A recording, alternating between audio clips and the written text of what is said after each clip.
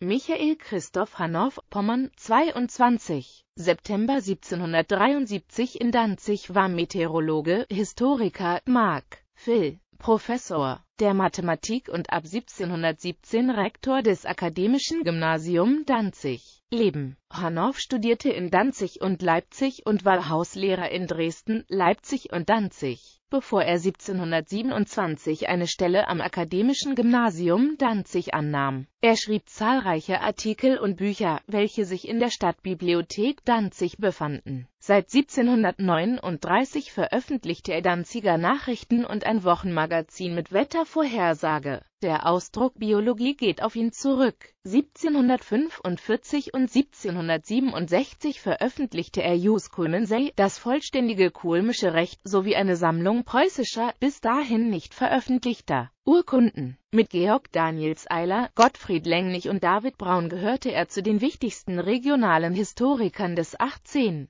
Jahrhunderts. Schriften Philosophiae Naturalissive Physicae Dogmaticae, Geologia, Biologia, Phytologia Generalis e Dendrologiae, 1766